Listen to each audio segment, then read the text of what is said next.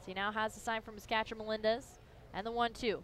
Mrs. Lowen inside, ball two. The throwdown, though to Aracena at second is not in time as the runner